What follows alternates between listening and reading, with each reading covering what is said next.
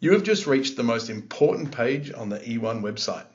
Um, this is where you get to choose how you get to keep up to date with all of the exciting things going on at eOne. Now, that can be fun stuff like parties we want to invite you to, new product launches, or it could be mundane stuff like bug fixes and service packs and deep technical documents. Um, now, if you're a reseller of our products, then you really want to tick the account manager updates box. This is where you get all the juicy stuff like how to sell more, tips and tricks to beat the competition, um, updates to pricing. You need that one.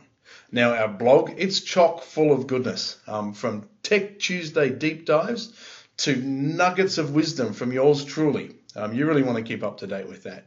Now, if you own an eOne product, um, and you're one of our customers, then you definitely want product updates. The last thing you want is to come back to this website all the time to see if there's a new update, a new service pack, a new release.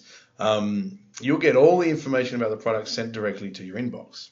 Now, if you have no idea why you're on this page or how you got here, um, then you should probably tick unsubscribe to all. If you do that, it's like drifting off into outer space, and we will never contact you again. Now, I mean never. Now, if you're one of those modern people that don't like email, then there's other ways to stay in touch with us.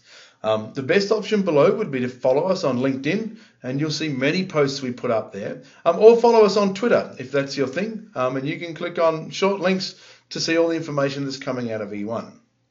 Now, the last thing I want to remind you about is our privacy policy. We take it very seriously, and we've spent a bunch of time writing it. It's a really good read, um, but you can probably guess the plot and perhaps the ending. In short, we take privacy very seriously. Um, we only want to communicate with people that want to hear from us. Um, we will never share your data with anyone else. And if you decide you no longer want us to know who you are, we will delete all the requested information from all of our systems. Thanks for hanging out with me on our subscriptions page.